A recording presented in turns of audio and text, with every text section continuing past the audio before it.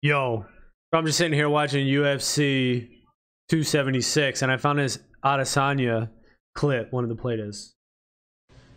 Ghislaine Maxwell just got put away for 20 years. So she was supplying kids for all these fucking pedos, right? Where's the list? Is it is it as that just gets like I don't I find know it weird that that got no coverage, but Johnny Depp and Amber was everywhere. everywhere. Yeah, and I'm like, so the list of you know politicians and actresses and actors or whatever that they talked about, does that get swept under the rug? Do they not get any time for actually fucking those kids? You know what I mean? Like I don't know. Like that's weird that how that just doesn't compute with me. Yeah, that makes sense, right?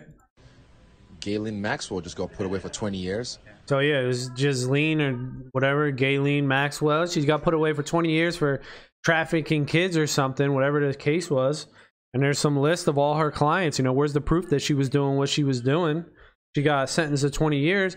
Where's the list? The list of clients, right? Nobody's talking about the list of clients that she supplied. So Adesanya's over here like, yo, okay, this Maxwell chick supplied all these rich people with all these kids to fuck. Well, what about the people that were actually fucking the kids? What happens to them? Nothing happens to them. Nobody's even talking about it.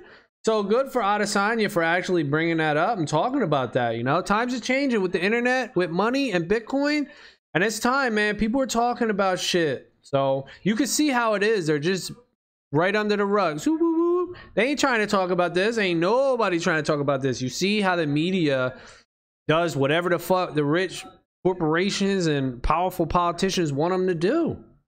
So it's nice to see Israel Adesanya calling that out, and uh, I'd like to see more people calling that out. You know, so I figured I'd make this video too, and just put it out there. Let it be known, dude. It's some bullshit. Ghislaine Maxwell just got put away for 20 years. So she was supplying kids for all these fucking pedos, right? Where's the list?